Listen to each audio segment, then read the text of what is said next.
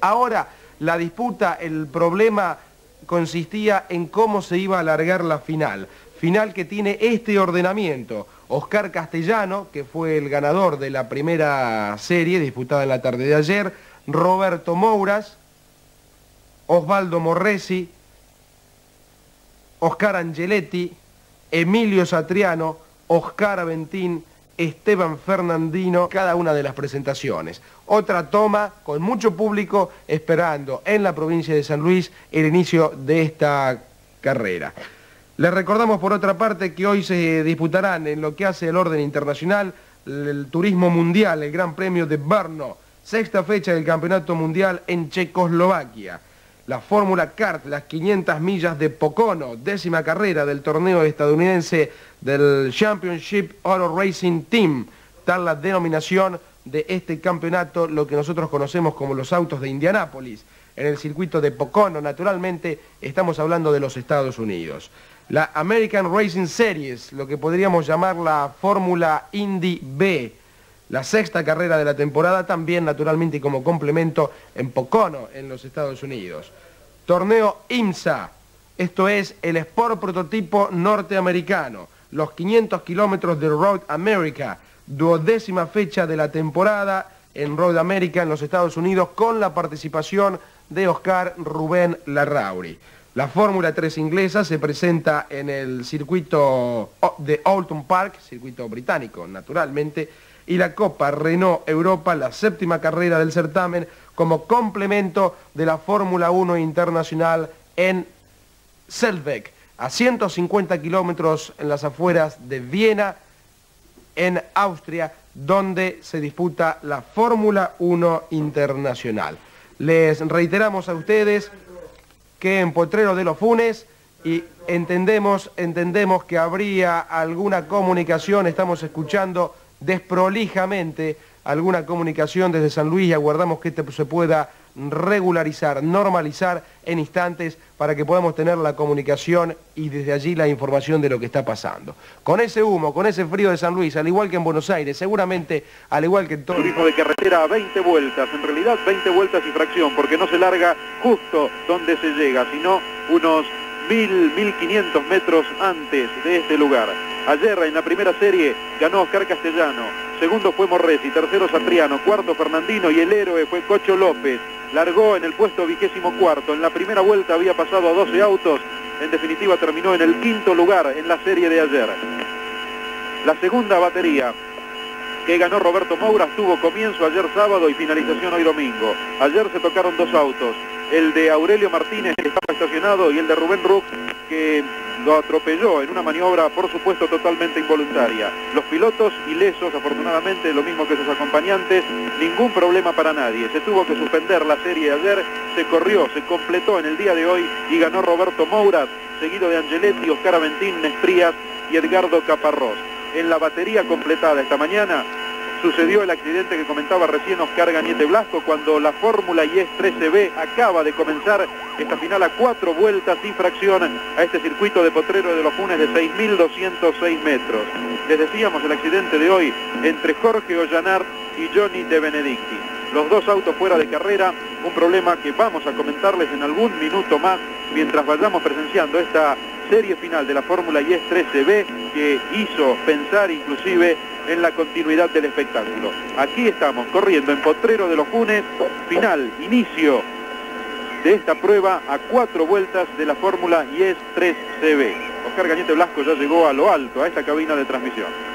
Bueno, y aquí en esta cabina de transmisión estamos instalados nosotros para contarles que en esta serranía hermosa, en este potrero de los Funes, realmente soberbio, y donde ustedes ven las, instalaciones naturales para poder eh, plantear lo que tiene que ser un anfiteatro, si la gente se acostumbra a subir al anfiteatro, esto no va a tener problemas. ¿eh?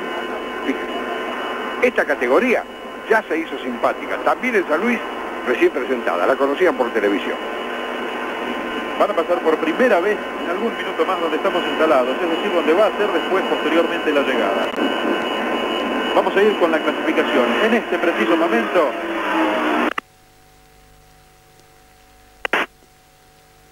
Después de está René Rivanegra y Omar Morelli. Esas son las tres primeras posiciones. Y además de hacerse simpática, comienzan a brindar este espectáculo que ustedes pueden visualizar a la perfección. correr? Y como te digo, el cometido es este, hacer una buena carrera. También le tengo que agradecer a la gente que me trajo, yo estaba en el lugar de nieve y era imposible salir y bueno, hicieron todo lo imposible el día muy sacrificado allá en las leyes. Sí, no, hicieron lo imposible para poder traerme y realmente pude llegar anoche y estoy contento por todo esto y ya te digo, mañana vamos a hacer, hoy digo, vamos a hacer una buena carrera y nos vamos a ir contentos. Te quedaste el sábado, te gustó tanto lo que hiciste ayer que te quedaste el sábado. Sí. Después, Te agradezco mucho, un abrazo grande, un beso grande. Y mientras Cocho contaba lo suyo, lo que ustedes acaban de escuchar, podían apreciar el panorama de lo que es este circuito de potrero de los Funes, mientras la Fórmula IES 13B está girando en él. Van a cumplir la primera vuelta, porque la pasada anterior fue la de la parte del tramo ese extra que se agrega a las cuatro vueltas comprometidas para esta final. Ustedes vieron, hay montaña, curvas, retomes, abismo, un lago hermoso, realmente, el lago potrero de los Funes, con todos los aditamentos necesarios para que el espectáculo, sobre todo este espectáculo televisivo que están presenciando, sea de primera calidad. Hemos tratado de mostrarles primero la belleza natural, la auténtica belleza natural de este lugar de donde hoy transmitimos. Y otra cosa más, Oscar, que no podemos olvidar en este comienzo prácticamente de transmisión. Lo que se está apreciando tiene responsables. Aquí hubo un equipo técnico que tenemos que destacar, aunque sea reiterativo, trabajan 10 puntos todas las carreras, pero aquí completaron una verdadera hazaña. Sí, señor, porque desde este pozo es difícil transmitir, terriblemente difícil. Hay gente que con el frío y la Sierra Nevada ha instalado allí las microondas de ATC, el equipo humano de ATC, que ha tenido que llegar a Lomo de Mu, que ha tenido que llegar con todos sus equipos para que ustedes tengan esta imagen, es el equipo humano sobre el que nosotros descansamos con todo lo que les ofrecemos. Y aquí van pasando las máquinas de la categoría 10. La primera posición, Sergio Llaneto, máquina número 12. Segundo, Carlos Altamirano. Tercero, está Horacio Begué, la máquina número 5. Y estos tres que van encabezando el lote, donde figuran, ya saben ustedes, los que normalmente acompañan a Llaneto, que son sus hermanos, pero quedan atrás hoy, superados por Begué. Allí está un- otra vez, mezc- mezclaron dos de los equipos del equipo Llaneto. Allá están dos. ¿eh? Máquina número 12 y 4. El 4 es Carlos Altamirano, el 12 es Sergio Llaneto, el puntero de la carrera. Pero son todos de la misma zona, es todo de Tigre, los tigrenses en la punta. Y así viene Begué prendido con los dos. Exactamente. Una categoría que normalmente no presta los grandes espectáculos. Aquí siempre la trepadura que tiene que hacer. Bueno, y ahora viene un retome en su vida. Ustedes lo van a apreciar. Para estos autos era difícil, pero les reiteramos, el tiempo de ayer, 3 minutos 28, sorprendió a todos porque en los cálculos previos se pensaba hacer 4 minutos para la vuelta. Llaman las se- hay quienes van a hacer una publicación periodística con el nombre que le puso la gente de ATC, con Raúl Barceló, incluido allá en nuestros estudios, ¿eh? los patitos lindos. El torneo lo bautizó así, de esta manera, junto con Así es, hay autos que se mueven, ahí eso es plena trepada. Quizás no se note tanto en la perspectiva, pero están subiendo, diríamos que violentamente, trepando continuamente en ese zigzagueo. Además, no se caigan, que le peguen a Guarrail en todo caso. Si no, vieron dónde van a parar, abajo. Los guarrailes están bien firmes, ¿eh? ya lo comprobaron varios pilotos. Todo lo domingo, ¿cómo te fue hacer a vos? Bueno, también eh, ya tuvimos un problemita en la largada de la serie.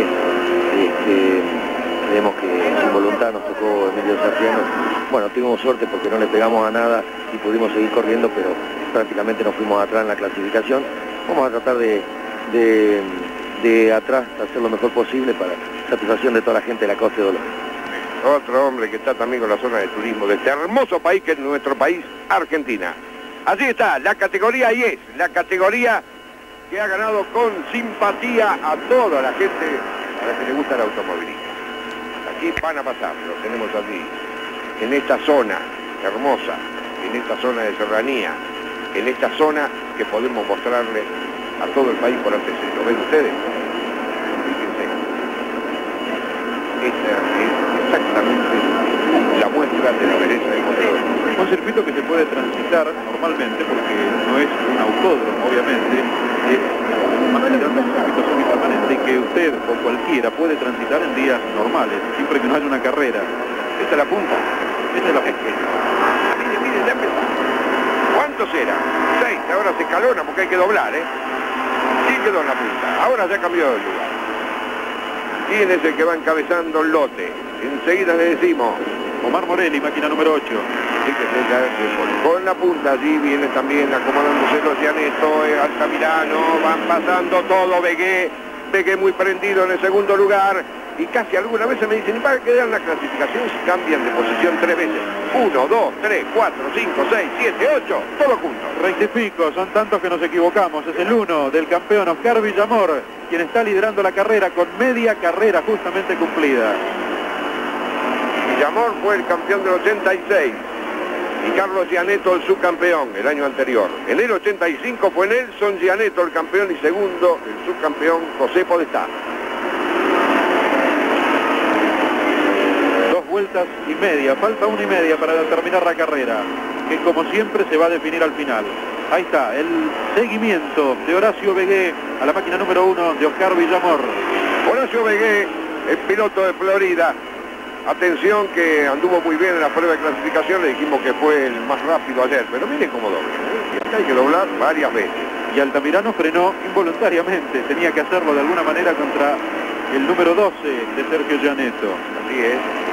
Venía tratando de pisar más fuerte y no tenía el lugar necesario. Ahí vienen los cinco. Los El blanco es Oscar Villamor, el rojo, blanco y amarillo, Horacio Begué. El amarillo que se quiere filtrar es Sergio Gianetto. Eso era una terraza de una casa que también estaba por allí, muy cerca de la zona donde pasamos el. Es un hotel, es uno de los hoteles que están aquí en esta zona, no es el hotel internacional. Aquí está una de nuestras cámaras que muestran todo esto, luego del esfuerzo del equipo técnico de exteriores de ATP. Sigue en punta eh, Villamor campeón, ¿eh? Así es, auto blanco número uno. Le está haciendo honor número que lleva inscrito, pero atrás de prendido.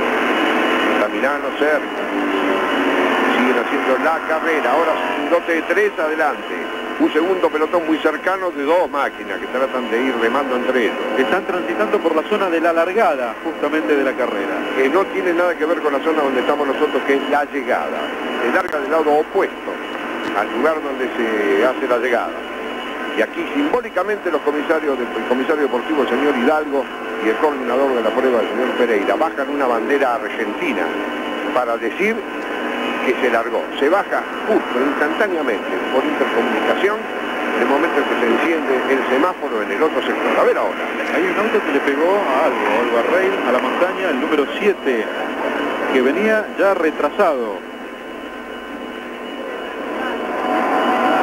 Aquí tenemos el ascenso, parece que Begué Número 7 es Ricardo Núñez.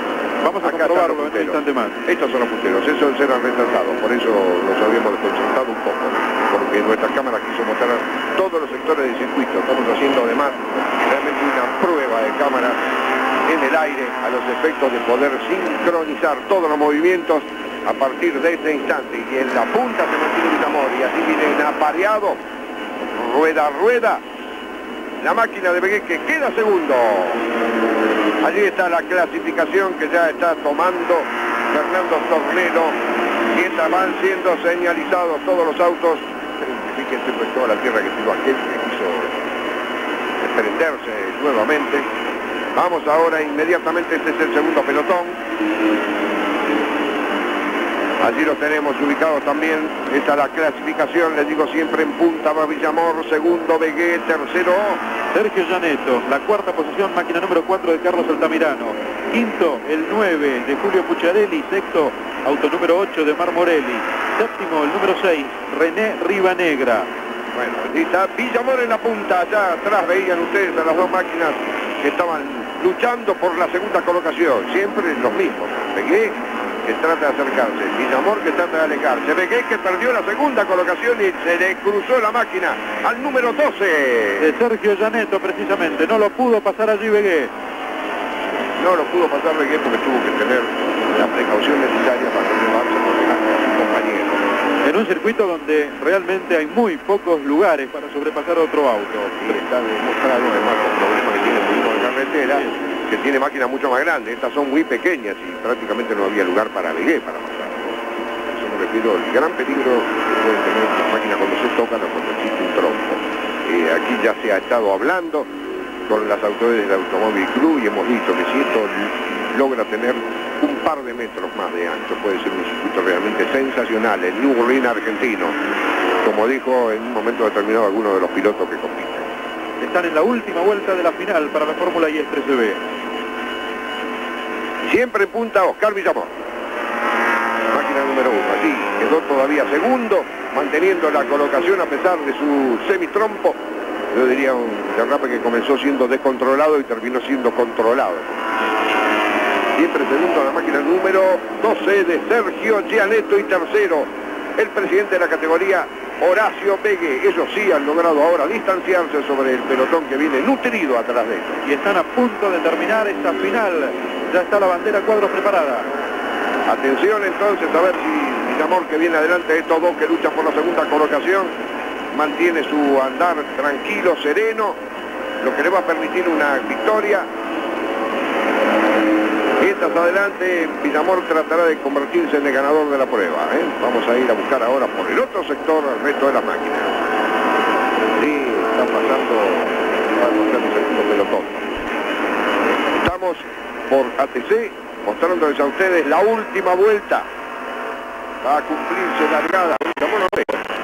A ver si va adelante de estos dos o se quedó. Vamos a ver cuando llega aquí. Ellos son Janeto y Horacio Begué. Sergio Janeto y Begué que viene buscando para tratar de superarlo y no puede a Sergio Janeto. Así está la lucha entre Sergio Janeto y Horacio Begué mostrándosela a ustedes porque esta es la lucha más importante que se está produciendo en el circuito en la última vuelta para saber a ver quién es el que se bajó la bandera cuadros y el ganador Sergio Janeto segundo Horacio Begué allá se saludan, además se conversan y además se piden explicaciones de lo que sucedió pero todo en forma amable. Primero entonces Sergio Janeto segundo Horacio Begué el ganador de la prueba Sergio Janeto Horacio Begué ha quedado segundo en esta competencia de la categoría